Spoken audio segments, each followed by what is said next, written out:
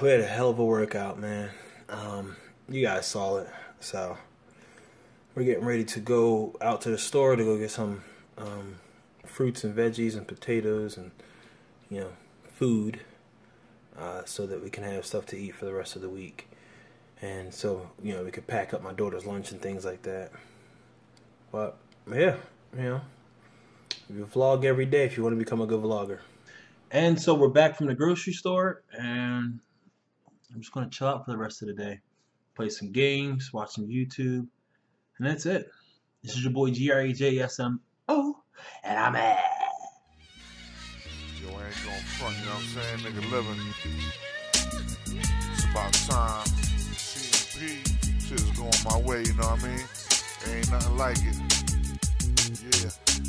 Nothing like paying the bills on time. Enough dough left to know that we still gonna shine, but it's never enough.